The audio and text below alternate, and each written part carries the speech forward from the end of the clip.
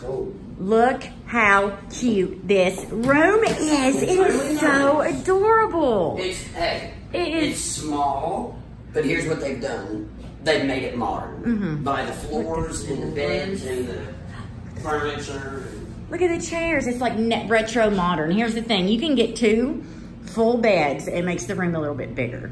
Or you can get one king. It makes the bed a little, it makes the room a little bit smaller.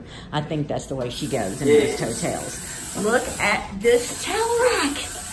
I think that's adorable. Yeah, that is nice. That's what I'm saying. It's modern. It's pretty cool. This bathroom is humongous compared to a lot of hotels. Yes, I mean, here's my feet. Look, one, two, three, four, almost five. And look at the, I guess I should turn on the stinking light. Very nice, very clean. You know what I mean? So if you want to do the wild thing, you come to Motel 6. Nice TV. Of course, Michael's speakers. I'm going to stand in the corner right here. And you can see, this is all you need.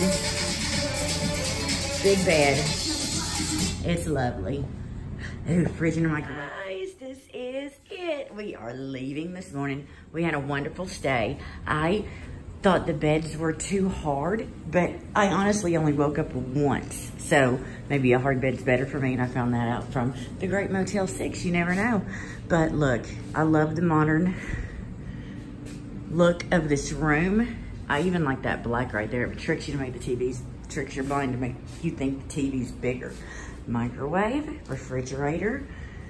Love the towel rack, like I said. Um, but that's it. I'll show you the outside of the room. And that will be the end of this vlog. Thanks for watching, guys. Beautiful. Love it. Extremely quiet, Yes.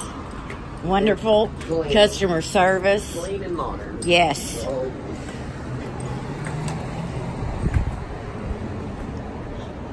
I gotta go in the lobby real quick.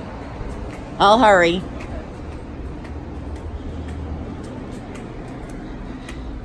Side doors. Hallway. Wonderful coffee bar. Decorations. Pepsi. Media center.